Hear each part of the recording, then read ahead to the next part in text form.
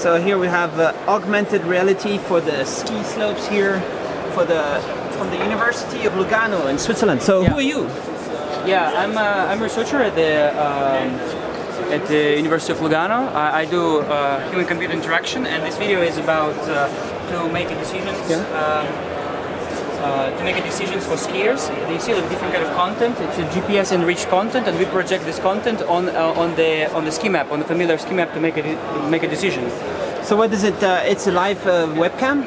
So basically, this is supposed to be weared in this in the ski goggle. So imagine like your phone, like in, in, in, inside of the ski goggle. So so skiers communicate like through this. This is just a prototype for the for the purpose of the demo. We use the iPhone, uh, but this is integrated in the ski goggle, and this is the controller to to toggle the content.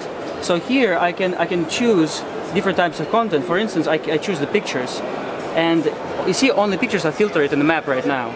So I can I can enlarge those pictures and uh, and toggle them toggle them around. So uh, you see, like uh, this is the way uh, for skiers, for group of skiers, to decide and to share information. Basically, yeah. Part of the pictures, we have different type of content, like um, uh, like tracks. Skiers like to record their tracks during different apps, like Endomondo, Runtastic, whatever. And this is uh, this is to decide where to go next, like which tracks you already skied, which tracks you you would like to ski later, and, and stuff like that. So this is all interactive. Um, one of the important feature here is for off-piste skiers. Uh, we have a hazards For what skiers? for the off-piste. Off-piste. Yeah, for, for the for the backcountry. Can you save their lives, or what do you do? Say When they get lost, you save them, or what do you do? No, this is the. Um, this is for them to understand where the hazards are. So, for instance, there was an avalanche, and somebody recorded it and, and input it through this our our system. So basically, the skiers can see, okay, this is the rock over there, so probably avoid that. Avalanche was there, so probably avoid that area, and um, cliffs, etc. So this is just a, a kind of awareness tool and also a registration tool for.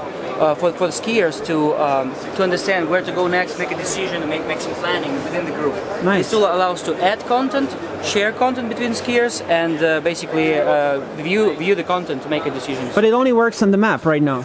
Uh, yes, right now, yes. But we, as I said, like we envision, uh, uh, this is just a prototype, right? So we envision it in the in the head-mounted display, uh, like a ski goggles. They all wear ski goggles, and, and this controller to make a hands-free interactions, kind of uh, using using the glove. Uh, So basically, that's that's the idea of that.